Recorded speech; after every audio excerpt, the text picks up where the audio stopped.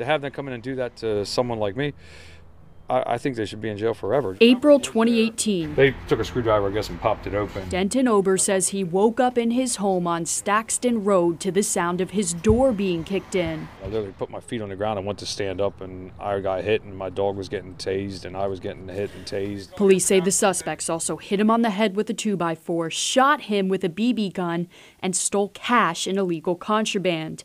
Now, a year later, investigators have charged four men.